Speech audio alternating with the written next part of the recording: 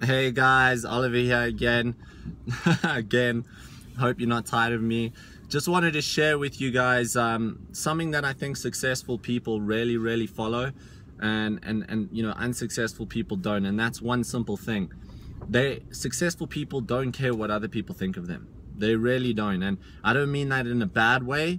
What I mean that is they don't care about your opinion and let it, you know, impose on what they are doing so if they want to achieve something, if my vision or my goal is to do whatever ABC, I'm not going to let your, uh, you know, opinion of that distract me or take me off my path.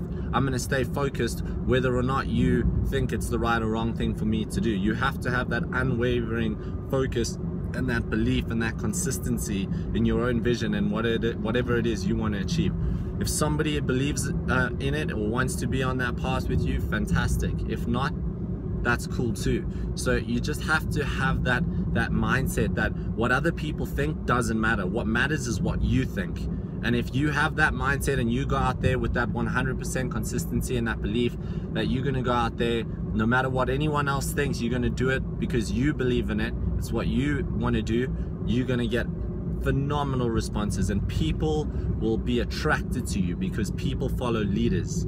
They follow leaders. They follow people with vision and with purpose and with passion. If you're somebody who's, uh, you know, you don't have a certainty in where you're going in your life, people are going to pick that up unconsciously and they're not going to want to join you. And as Warren Buffett said, people buy people.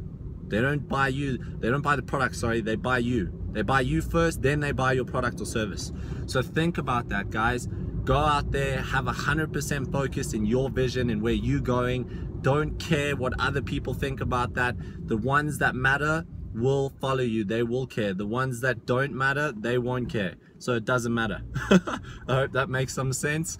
And have an awesome, awesome day, guys. Cheers.